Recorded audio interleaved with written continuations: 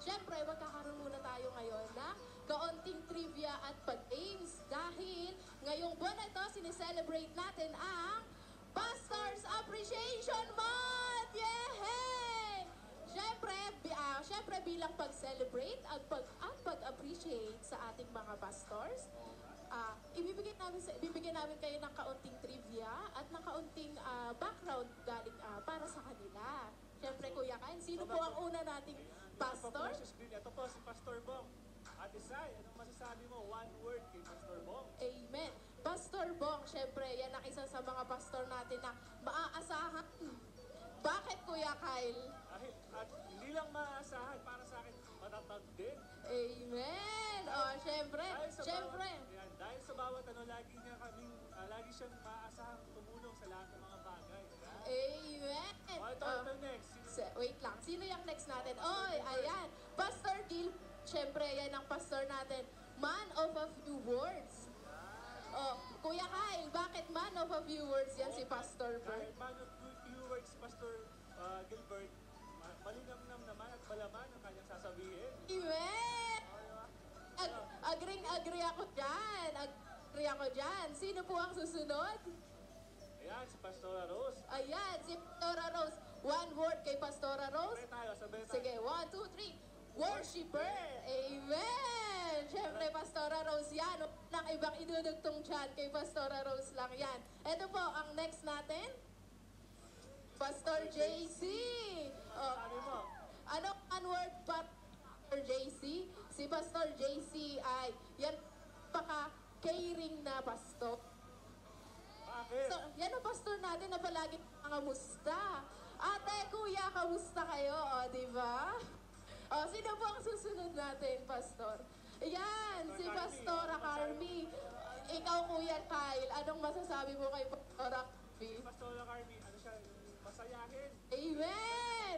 O, totoo naman talaga kapag, kapag si Pastora Carmi napaka-cheerful niyan. At syempre, syempre, syempre napaka-lighthearted. Syempre, siya ang president ng Women's Ministry. Amen! Sino po ang susunod nating pastor dyan? Ayan! Pastor Jacob! O, ano masasabi mo kay Pastor Ang Jacob? one word ko kay Pastor Jacob is protector yan. Amen! Siyempre, kitang-kita natin yan kung paano mag-protect yan sa mga kapatid. Ganun na, lalong-lalo na kay Becca, di ba? Amen! Sino po ang susunod natin dyan? Pastor Abby! Okay, kay Pastor Abby ako, ano, sisi ng lahat. O, di ba? Kay Pastor Abby, ang one word ko dyan, pure heart. Di ba? Di ba? Agree, agree. At Di ba? Yan, para kay Pastora Abby, napaka-pure ng heart niyan. O, di ba? Po ang next natin dyan. Ayan! Ako, sa akin na yan, sa akin na yan, sa akin na yan. Siyempre, nanay ko yan. Ma'am natin yan. Ang nanay ng taon, di ba?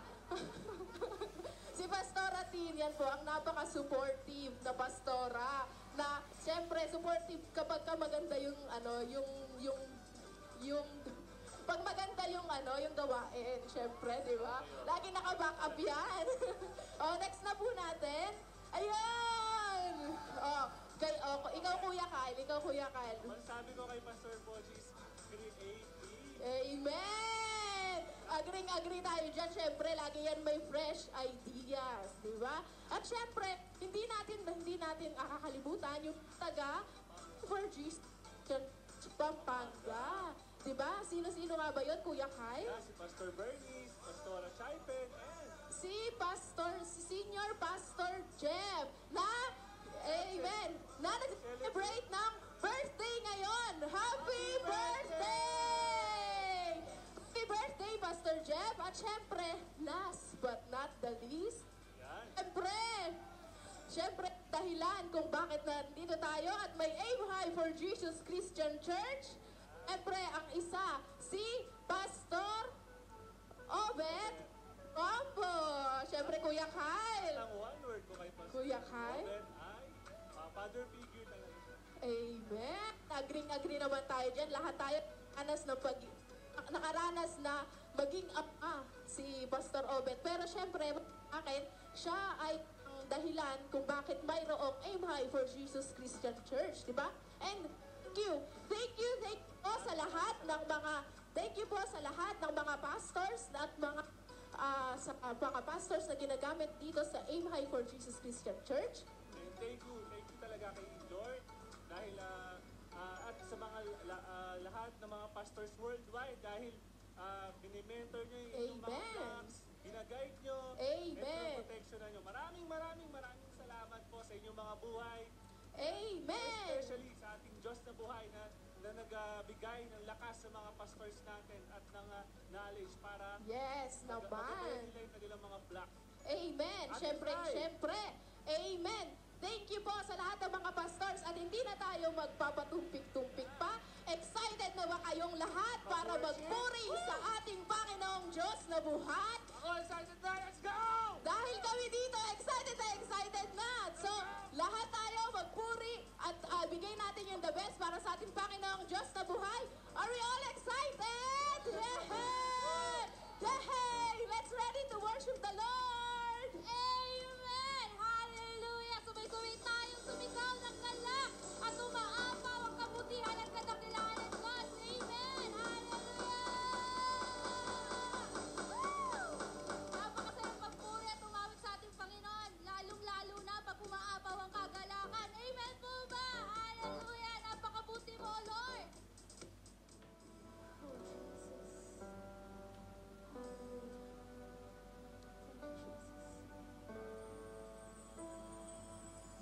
hallelujah, hallelujah, hallelujah.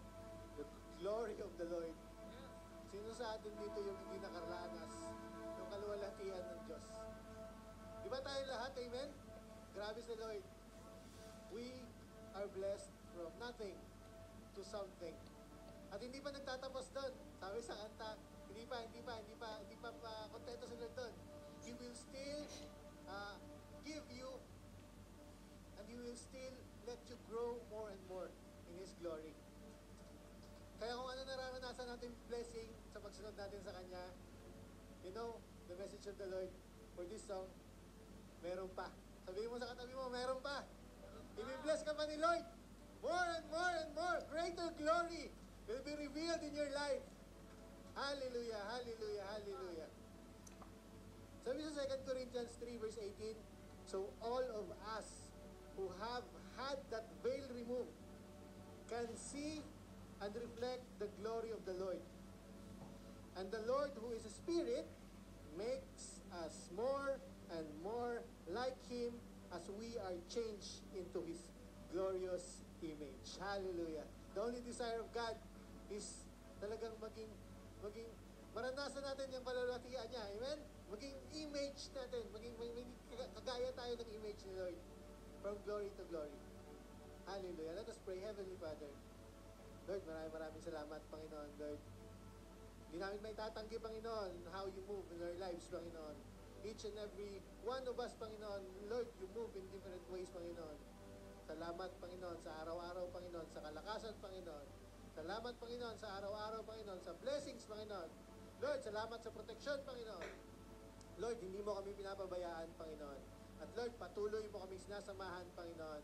And Lord, we are expectant of your blessings, of your glory, more and more. Hallelujah, hallelujah, hallelujah. In Jesus' name, Amen. Hallelujah. So, napaka-blessed, blessed Friday sa bawat isa. Ako nga po pala si Pastor Boji, Senior Pastor dito sa Amen for Jesus Christian Church Incorporated. Wini-welcome ko po kayong lahat dito sa studio at nandyan sa, yung mga nandyan sa ah, tahanan, mga naka-online. Ah, kung maaari po, please, ah, recognize nyo yung self nyo, like, hit nyo yung like button, yung yung heart, yung ah, yung smileys, kung ano man dyan, para malaman namin na nandyan kayo. Kaway-kaway po tayo, amen? Hallelujah, hallelujah. Napaka-blessed ng ah, Friday natin because kasama na naman natin ang ating mga kapatid na magpupuri sa ating Panginoon. Amen? At napaka-exciting ng ating week because marami tayong gawain. Panoorin po natin ito.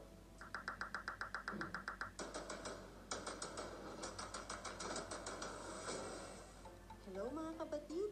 Mapagpalang araw po sa ating lahat. Ako pong inyong lingkod, si Sister Jen, and welcome to Aim High for Jesus Christian Church Incorporated. We are here to invite you to come and join us in our weekly activities. Every Monday, we have our pastoral prayer and devotion na kung saan po sama-sama ang ating mga pastors para magpalakasan and to grow more deeper with God.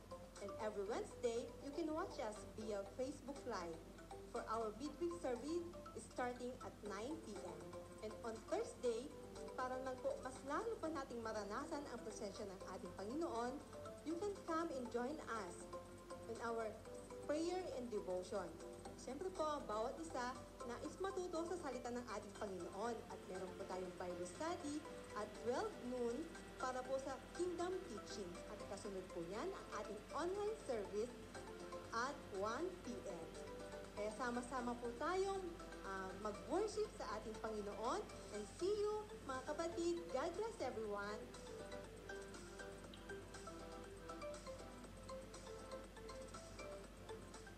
Amen.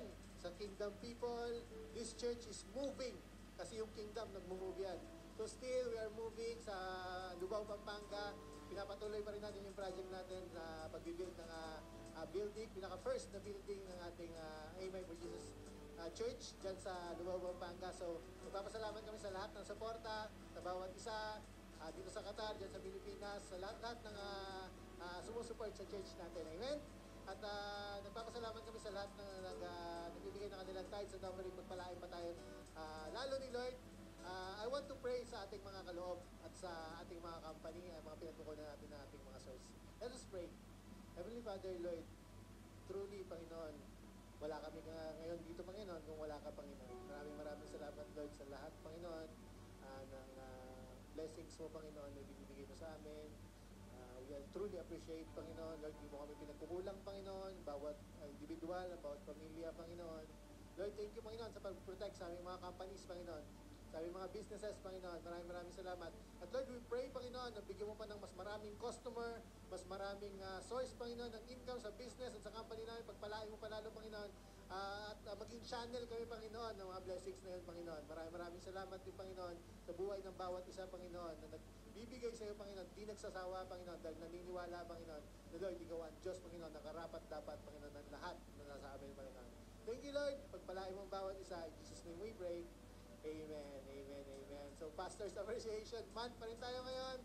At uh, na, I'm excited sa message ni Lord na dadalhin sa atin ng ating aking uh, co-pastor at uh, classmate ko to eh, tsaka pogi. Amen.